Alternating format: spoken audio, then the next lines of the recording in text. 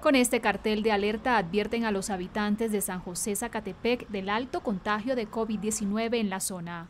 Es el barrio con más contagios de Ciudad de México, pero muchos de sus vecinos no creen en el virus.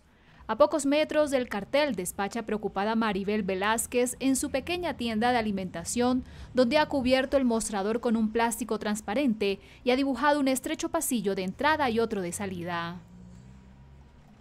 Está difícil la situación, ¿no? Nada más que pues desafortunadamente pues no, no hacemos caso de todas las indicaciones que se hacen.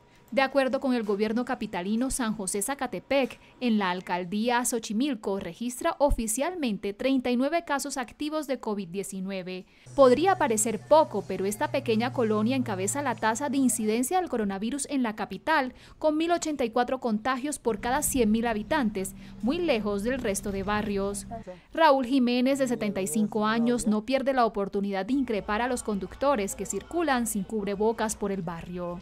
Necesitamos mano dura a los que son duros para cumplir este, en este caso sus vidas.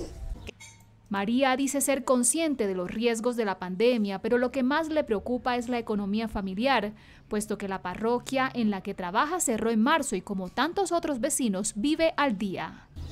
Pero que vengan y que nos repartan cubrebocas, que nos repartan caretas, que nos den gel antibacterial, ¿Tú crees que mi vecina recolectora va a tener para comprar un litro de gel antibacterial? Entonces, que no nada más diga el gobierno que nos están apoyando.